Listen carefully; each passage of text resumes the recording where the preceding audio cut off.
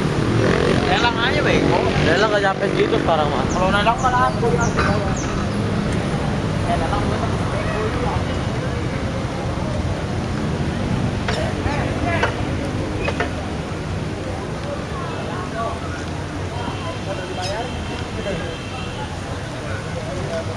sampai soalnya pengaruh itu udah